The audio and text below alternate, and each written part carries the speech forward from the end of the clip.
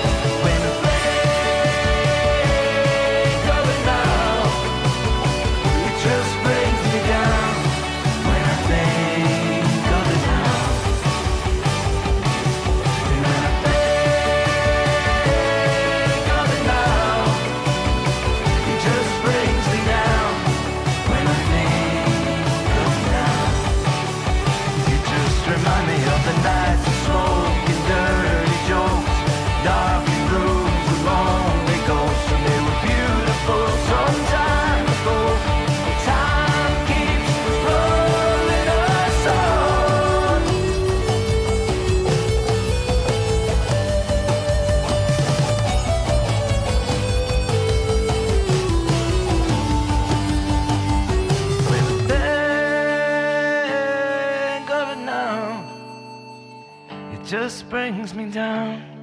When I think of you now.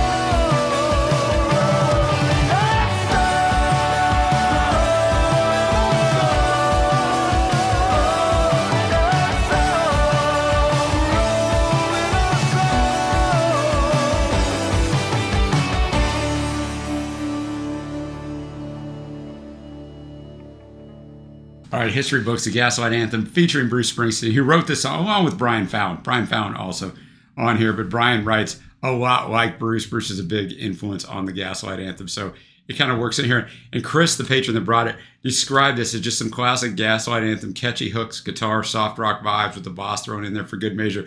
That is an absolute perfect summation of this. And the writing is just, uh, you know, I, I I hadn't focused a ton on the lyrics when I was listening to it just in the car. I mean, I tried to, but uh, it's just really good because basically talking about the fact that uh, this person reminds him of the old days, but it just kind of brings him down, right? What's that you say? I knew you when You don't look too much like my friend. Those history books filled up with crooks. Story I don't want to stories I don't want to read again. So doesn't want to relive the past. I've tried to live one thousand years from here.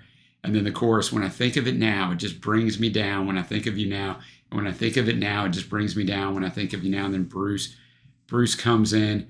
You know, he's talking about partway through his verse, but these history books full of haunted looks from people I don't want to see again. And then the bridge used to remind me of the nights of smoke and dirty jokes, darkened rooms with lonely ghosts, and they were beautiful some time ago. But time keeps rolling us on, and we get back into that chord.